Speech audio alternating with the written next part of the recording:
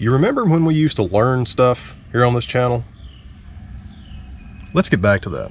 I'm going to show you three ways to add super easy borders. I mean ridiculously simple borders to your pictures in Lightroom Classic, Lightroom, and Photoshop. Let me show you how to do it. We're going to start off applying our borders from the most simple to the most involved. None of these are complicated, I assure you folks, but we're going to start off in Lightroom Classic, move into just Lightroom, and then end up in Photoshop. Photoshop is going to be the most versatile. Now here in the OG Lightroom, this is essentially the old desktop version of Lightroom. This is Lightroom Classic. You get Lightroom Classic, Lightroom, and Photoshop all in that Adobe Creative uh, Photography bundle. You get all this stuff that I'm showing here for I think like $10 a month. Now here in Lightroom Classic, we've got our image opened up here. This is a free lensing photo of some flowers, obviously. Now to apply our border, we look over here to our develop panel. We're going to transform. We're going to look for the scale slider. And then we're just going to slide that to the left just slightly. There's 95. It's going to show you how that looks. And there's your border. It literally is just that easy. Of course, it's a white border. Naturally, it is not equilateral. It's a little smaller up top, a little thicker left and right. And uh, But that's literally all you can do here in Lightroom. It's just a nice, simple, quick border. Now, something that you guys have brought up to me and something I didn't mention, I don't think, in the last episode when we talked about borders, is what happens when you start working with a cropped photo trying to add a border that way. Let's take a look. So we're just going to hit Command Z or Control Z to go back. Let's go and let's say we want to crop this photo to a one-to-one, -one, a nice square. Do it like that. There's our crop. We go back down to scale. Do the same thing again, but uh oh It looks a little wonky. And the reason for that is Lightroom doesn't care that you cropped your picture, it still thinks it's working with that virtual copy, which was the original crop. So that's what it's basing the scale off of, regardless of your crop. Let me show you a way around that. After you crop your photo, do all your edits, do everything that you want, all your processing, crop your photo, you want to export that. Doesn't matter what format, it can be a JPEG, a TIFF, you can leave it in whatever format it was originally, but just export it anywhere on your computer, anywhere on your hard drive, then bring it back in import that cropped photo again, and then apply your scale. Let me show you how that looks. So I'm going to select the cropped photo that I had exported and then brought back into Lightroom Classic. So this is a crop photo. Lightroom, for all intents and purposes, thinks this is an entirely different picture. So now it's going to let you do your scale just as we did originally. And there you go. That's the way around the uh, problem of cropping your pictures and then trying to add a border here inside of Lightroom Classic, you just have to add one more step, the export and the import again. To me, it's well worth it. Now I'm going to show you how to do this in the cloud-based version of Lightroom, which is now just called Lightroom. Here we are in Lightroom. Uh, Adobe was going through a little bit of an identity crisis a few years ago when all these versions of Lightroom were coming out. Now this is just Lightroom.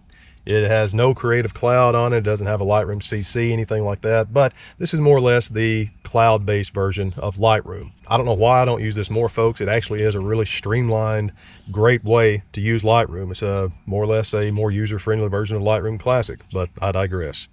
Now to apply our border here in Lightroom, this is the cloud-based version again. You're going to go up to your little develop tool panel here. You're going to look for the crop icon. Click on that that's where our geometry is going to be, and that's where our transform is going to be. And that is where you can find the scale slider, just how it was in Lightroom Classic. Same rules apply. There's our border. Boom, there you go. Just that easy. Now, again, if I want to crop this, uh, it's going to run into the same problem as we did in Lightroom Classic, where it's going to look kind of wonky, a little off center. So again, if you want to crop a photo that you're working on, this is Leia being completely Unamused by Lake Erie. Hey, baby. But if you want to crop this photo after your edits, again, export it out of Lightroom and then bring it back in and then apply your scaling. Next, I'm going to show you a way to add your borders that completely blows all these rules out of the water, folks. But for that, we're going to head in to Photoshop. Now here we have the same photo we were working with in Lightroom Classic opened up in Photoshop 2024. The border, a little more involved, but absolutely no harder to apply here in Photoshop. And plus we're gonna be able to add different color borders, different size borders, stack the borders. It's very cool. Let me show you how to do it. It all comes down to adjusting your canvas size. So what you wanna do, go up to image, go to canvas size. You can use keyboard shortcuts. I'm using a Mac here. The keyboard shortcut for canvas size is going to be Option Command C. So on Windows, I believe that would be Alt Control C.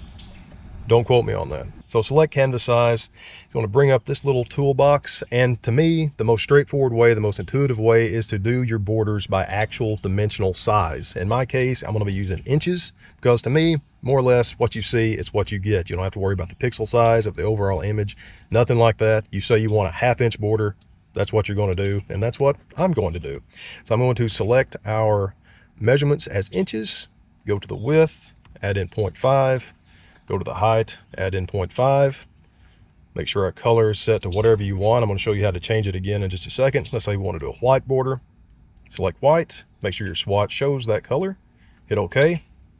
There's your border.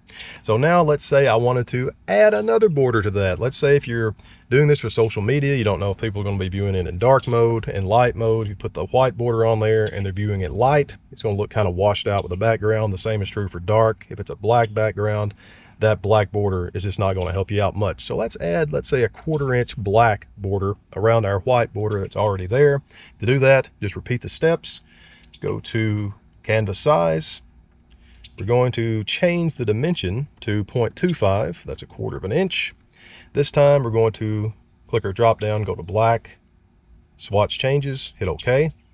And there is your black border around your white border. Let's get really crazy with it. Let's say you want to add another type of border to this, a different color border. Same thing again, guys, you guessed it, canvas size.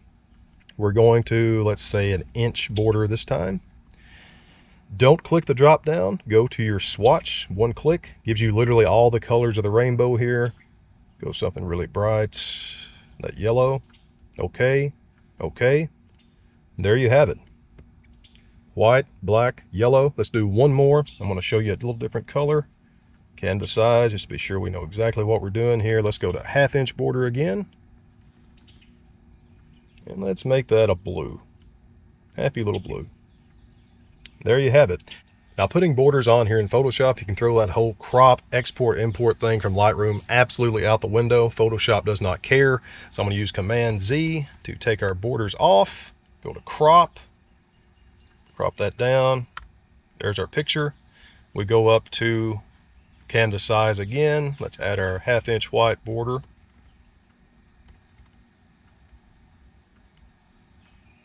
There you go. Just that simple. You don't have to worry about Photoshop making it look all wonky, anything like that. Just go ahead and crop your picture first before you start adding your borders. Simple as that.